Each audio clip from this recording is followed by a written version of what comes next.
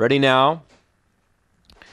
Ready and away. Marlowe Brown only midfield away. He's going to need some luck now. Finding the lead early now was Molly McBain. Gets clear. Second, Sophie Tyson. Going to third, Markling. Four links away, Marlowe Brown now getting into the race. Then Babylon Redeemer. Well back was Lectra Starsky. Out of it was Kincaid Khan. And last of all, Yarramundi Beauty. Leader now, Sophie Tyson. Got away from Molly McBain. Running on Marlowe Brown, but Sophie Tyson wins. Marlowe Brown second. There was an upset. Third placing goes to Molly McBain. Uh, fourth up, Markling was close up there with Babylon Redeemer. Then came Kincaid Khan, Yarramundi Beauty, and Lectra Starsky back towards the rear. So Sophie Tyson. Oh, the kennel's on fire. They got a winner in the first was Sam Tyson, and now Sophie steps out and wins. $11.50.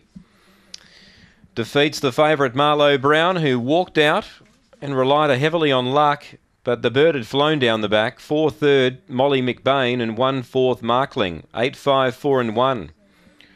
Eight five four and one here. Twenty three eleven the time.